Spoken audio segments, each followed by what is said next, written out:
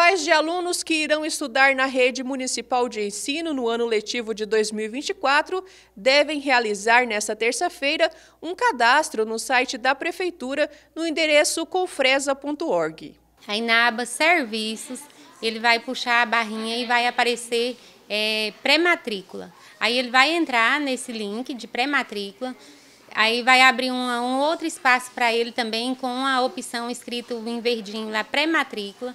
Ele vai acessar, vai fazer o cadastro dele. Está liberado desde ontem para ele fazer esse cadastro. Aí após ele fazer esse cadastro, ele vai aguardar até amanhã às 9 horas, que vai ser o momento que vai liberar para ele incluir a criança. A gente preferiu fazer dessa forma porque eles clamavam muito, que dá muito problema às vezes, esqueceu um telefone, mudou uma senha, e aí até ele conseguir fazer essa alteração, ele perdia a vaga. Então, o que, que a gente fez? Abriu dois dias para ele fazer esse cadastro e somente amanhã, dia 10, ele conseguia entrar e colocar a criança. Depois de tudo prontinho, ele vai lá, abre e coloca a criança dele para ele não ficar prejudicado nessa questão né, de atraso em abrir o site, o portal. Caso os pais não consigam realizar esse cadastro em casa, podem procurar uma escola para pedir ajuda ou até mesmo comparecer na Secretaria de Educação, localizada na Rua Jatobá, número 33, setor Jardim do Éden, das 8 da manhã às 11 e das 14 às 17 horas.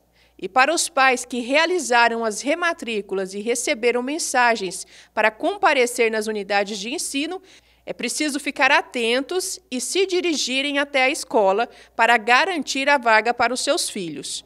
No caso das matrículas, a técnica da Secretaria de Educação, Weslene Barbosa, alerta que em algumas escolas já não há vagas. Os pais vão ter a opção de escolher a escola aonde tiver a vaga. A partir do momento que acabou as vagas lá, eles vão entrar para a fila de espera. E essa fila de espera, eles vão ser encaminhados aonde tiver vaga, porque a criança não pode ficar fora da escola.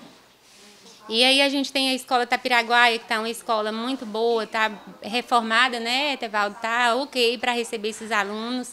O Central a gente provavelmente não vai ter mais vaga, porque o Central é uma escola pequena, é, e aí já recebeu os alunos do ano passado. Quando você faz a migração, aí só sobrou três salas vazias, então só abriu essas turmas.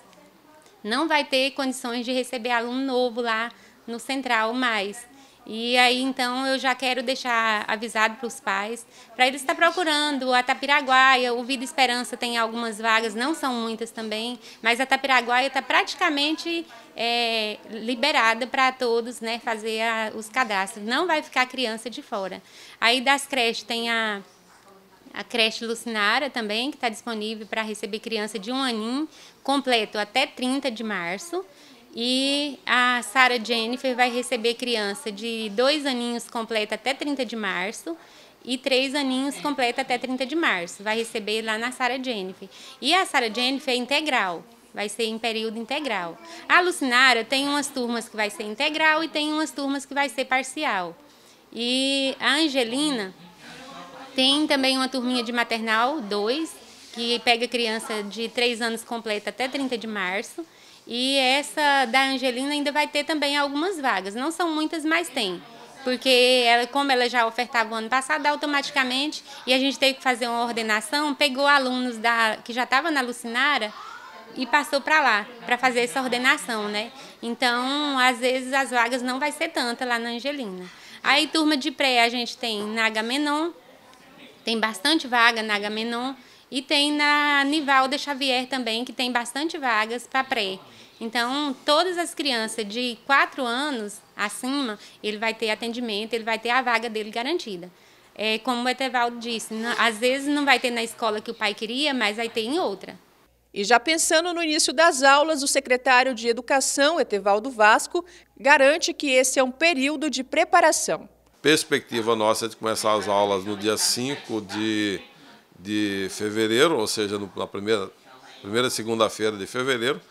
E aí, se Deus quiser, vamos ter um ano tranquilo, porque se a gente começar exatamente no começo de fevereiro, já tem prazo normal para chegar até dezembro com um ano folgado, respeitando os pontos facultativos, respeitando ah, os possíveis feriados, né?